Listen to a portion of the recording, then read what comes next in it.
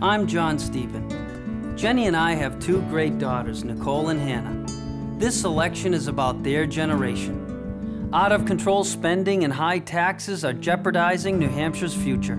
Governor Lynch raised taxes, increased spending by billions. Now more people are out of work. As governor, I'll use this pen to make tough choices. We'll cut taxes and reduce spending to create jobs. That's the change they deserve and New Hampshire needs.